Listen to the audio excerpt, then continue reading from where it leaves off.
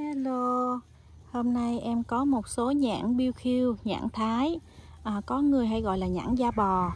Trái rất là to, ngọt và cơm giòn ha. À, cây hiện tại còn nằm trong chậu 15 gallon, tán nhánh rất là xum xuê và đẹp nè.